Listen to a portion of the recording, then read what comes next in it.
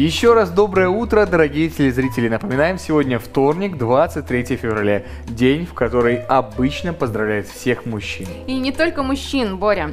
День защитников Отечества празднуют и женщины. И сегодня у нас в гостях одна из военнослужащих Гродненской пограничной группы. Это Алена Мотыль, старший контролер э, отделения пограничного контроля Берестовица. Доброе утро. Доброе утро. В первую очередь мы вас, конечно, поздравляем. Рассказывайте, как все начиналось? Почему вообще выбрали такую профессию? Ну, я врать не буду, это не было мечтой с детства. К этому выбору я пришла осознанно в старших классах.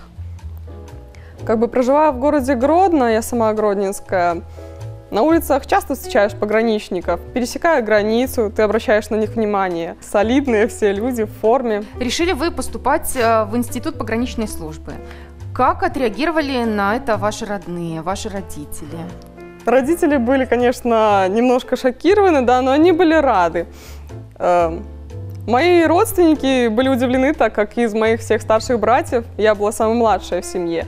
Никто еще не служил, я, я была первой. В 16 лет маленькая девчонка, да, но пошла на военную службу. А расскажите об учебе в Институте пограничной службы. Мы знаем, что вы вот в этом первом наборе женском были. Как все, как все прошло? Когда мы поступили, нас была, было 20 девушек. Изначально у нас было КМБ, это был такой самый наверное, трудный Курс молодого период. бойца. Курс молодого Может быть, да, бойца. не Это всем для тех, понятно, кто, да. Алена, не благодари, пожалуйста. курс молодого бойца, где мы, конечно, освоили все азы военной службы, где мы поняли, куда вообще мы попали и что будет дальше. Жили в палатках. Нет, до такого не доходило, Нет, ну конечно, были условия хорошие, но привыкать было, конечно, тяжело, когда ты пришел вообще из другой сферы, как я, из сферы спорта, я перешла в военную. Дальше что? Потом у вас были какие-то пары. Да, 4 года обучения, в основном это военные предметы были какие-то. Э, Было много интересных занятий по огневой подготовке, по тактике, когда вы еще мы и стреляли. ползали в поле, стреляли, да. Ну все, я так понимаю, наравне с парнями? Конечно, да. У нас ну, на курсе было 20 девочек и 80 парней. То есть, как бы, смотрели на нас, конечно, парни косо, то, что думали, к нам относятся как-то мягче, чем к ним. Но мы старались от них не отставать. Хотели показать, что мы тоже можем. Мы же такие же, как они, военнослужащие. Тем более не все мастера спорта по вольной борьбе. Тем более. А как дали в руки оружие, так вообще как бы никто просто перестал А перестали вы сами смотреть. как себя чувствовали вот среди такого количества парней? Конечно, было неловко. Если взять весь институт полностью, это 300 парней и 20 девочек. Внимание, конечно, было сосредоточено колоссальное на нас. Но со временем мы привыкли к этим взглядам. Я думаю, они тоже привыкли к вам. Конечно, безусловно, было много внимания к нам. Но мы знаем точно, парней. что у вас и муж из э, военных сфер. Нет, подожди, давай по порядку.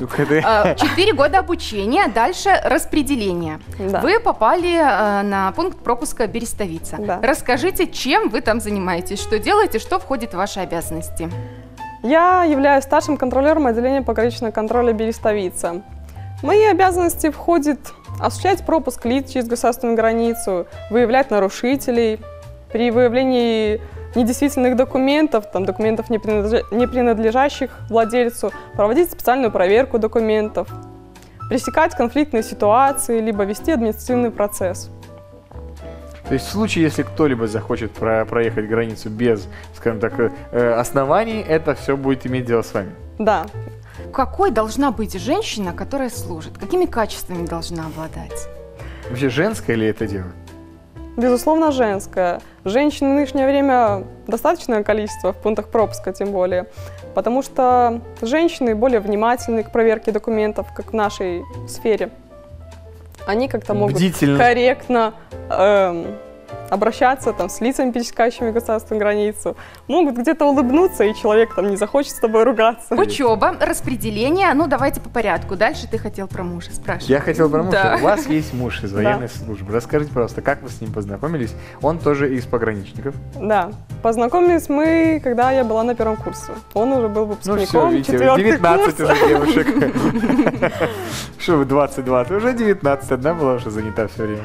Нет, ну, честно говоря, первый курс мы просто общались, были знакомы, дальше он был распределен в Гродненскую пограничную группу. Общение было на время, как оказалось, потом на время потеряно. Дальше я была на старших курсах, он приехал на переподготовку по своей специальности. Ну, я решила возобновить общение. Мгм. Как проявила- Взяли инициативу в свои Да, проявила инициативу. Вот, мы стали снова общаться, и спустя год мы поженились. Ну, нормально. Поженились и приехали вместе уже Да. сюда. Ну, я приехала уже сюда, к нему.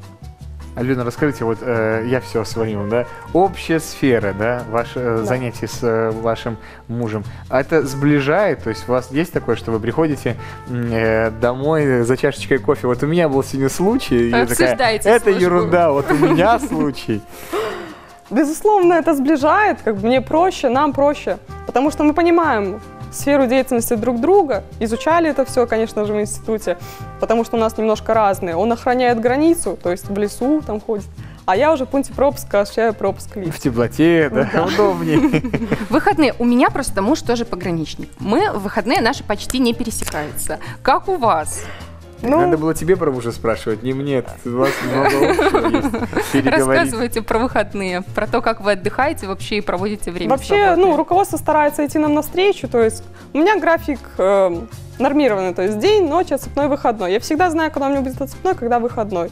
У мужа же это сутки, через сутки, там может быть такое. Но стараются ставить так, чтобы вместе отдыхали. Совпадает. Да. Бывает такое. Конечно, Хорошо. Как, как отдыхаете, как проводите свободное время? Может быть, о каких-то увлечениях, интересах, хобби своих расскажите. Ну, придерживаемся здорового образа жизни, конечно. Периодически можно выйти прогуляться, либо на какую-то пробежку. Ну, периодически, конечно, хочется отдохнуть. Просто побыть дома вдвоем, поговорить о том, что было у нас на работе. Ну, случаи обсудить всякие. А у вас совпадает время о выходных? Бывает. Редко, редко, но бывает. Да. Хорошо, что отпуск Да, всегда да. совпадает. Хоть это, да. Что бы вы хотели пожелать в этот праздничный день своим коллегам, те, кто, может быть, сейчас прямо смотрит вас и, может, улыбаются и говорят, вот, это наш человек, наш контролер. Конечно, всем здоровья, всем мира и добра. С праздником всех. Всего хорошего мы желаем и вам тоже. Успехов и еще раз с праздником. Спасибо большое. А мы напоминаем, у нас в гостях была военнослужащая Гродненской пограничной группы Алена Мотыль, старший контролер отделения пограничного контроля Берестовица. Ну а мы продолжаем.